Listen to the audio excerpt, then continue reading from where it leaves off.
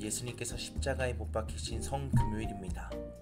다 이루었다 라는 제목으로 큐티를 함께 나눌 텐데요.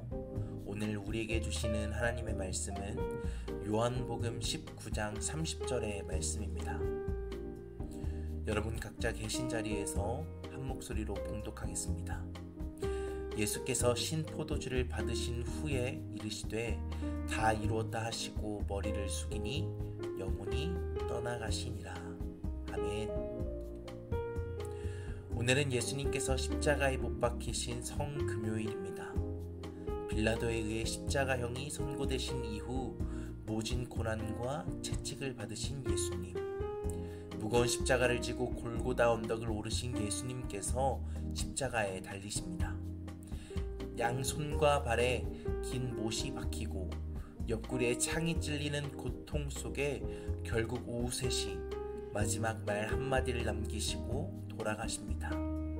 이때 예수님께서 남기신 마지막 말씀은 무엇이었을까요? 3년 동안 제자들과 함께 하시며 수많은 기적들을 사람들에게 보여주신 예수님. 그리고 마지막 예수님의 사명은 바로 십자가에서 우리의 죄를 사하시는 것이었습니다. 그런데 그 마지막 사명을 이루시는 모습을 본 사람들의 반응은 어땠을까요? 먼저 제자들은 예수님을 떠납니다. 그동안 예수님을 스승으로 모시고 따랐던 제자들이 예수님의 십자가 죽음 앞에서 모두 도망치는 겁니다. 뿐만 아니라 사람들은 예수님을 향해 손가락질 합니다. 스스로도 구원하지 못하면서 어찌 모든 사람을 구원하겠느냐라는 조롱과 함께 말입니다. 이러한 상황 속에서 예수님은 십자가에서 어떤 생각이 드셨을까요? 제자들과 사람들을 보며 후회하지 않으셨을까요? 여전히 죄가 가득한 모습을 보고 분노하지 않으셨을까요? 그런데 예수님께서는 돌아가시기 전 마지막 한마디를 남기십니다. 다 이루었다는 것입니다. 여전히 죄가 가득하지만 하나님의 구원의 역사가 이루어졌다라는 뜻입니다. 이것을 통해 알 수 있는 것이 있습니다. 하나님께서는 죄가 있는 곳에 죄를 덮는 더 큰 은혜를 베풀어 주신다는 겁니다. 예수 그리스도를 통해 여전히 죄인된 제자들과 사람들에게 은혜를 베푸셨던 것처럼 오늘을 살아가는 우리에게도 여전히 동일하게 은혜를 베풀어 주신다라는 겁니다. 그리고 예수님의 십자가 사건을 통해 우리는 죄인에서 의인으로, 고아에서 자녀로, 창기에서 하나님의 거룩한 신부로 변하게 되게 됩니다. 이것을 우리는 은혜라고 부르고 구원이라고 이야기합니다. 사랑하는 여러분, 예수님께서 십자가에 달리신 성금요일을 보내며 한 가지를 기억했으면 좋겠습니다.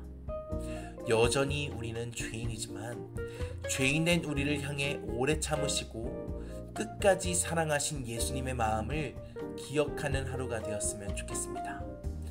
바라기는 십자가를 통해 구원의 역사를 이루신 예수님을 기억하며 한량 없으신 사랑을 받은 자녀답게 의인답게 하나님의 거룩한 신부답게 살아가는 저와 여러분 우리 모두가 되기를 간절히 축복합니다. 적용하기 질문을 함께 나눠보겠습니다. 예수님의 십자가 앞에서 나는 어떤 모습인가요?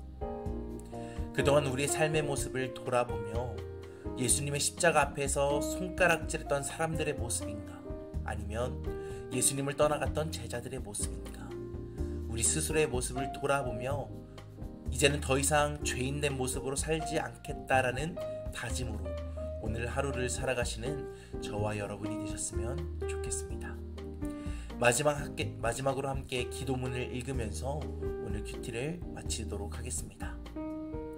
예수님의 십자가를 통해 죄가 가득한 곳에 죄를 덮는 풍성한 은혜를 허락하신 하나님.